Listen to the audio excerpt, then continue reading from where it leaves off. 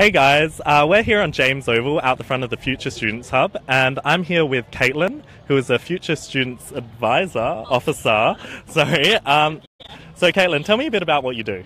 So I'm a future student officer, so that means that I do um, one-on-one course consultations with all kinds of students. So whether they've had previous tertiary study or they're straight from school, um, or yeah, so we basically consult with um, everyone. Yeah.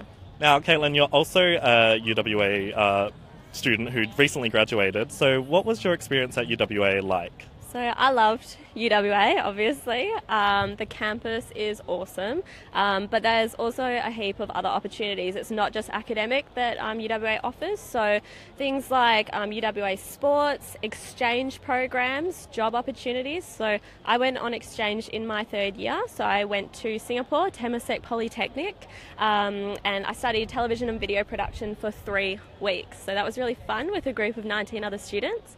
Um, and in terms of job opportunities, opportunities, I actually got my first proper job at UWA as a marketing intern. So definitely, if you are a student at UWA, you want to, you know, get involved as much as possible um, and do lots of networking to get the job of your dreams.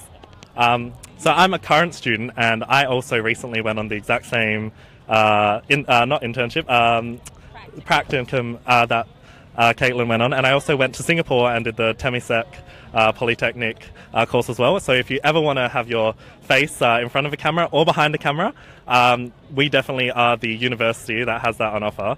So we're at Open Day. There's a million things going on around us. What is the one thing you recommend to all the uh, potential future students coming down? Well, I mean, Obviously, you want to check out the Future Students Hub for course advice, but I have been told that there is a ball pit. So I will no doubt be having some fun in there later today. Um, and there's also free fairy floss. So definitely check out those two things. So uh, we're going to head over in a little bit and we're going to check out the ball pit because apparently it's incredible. And uh, yeah, we'll get back to you.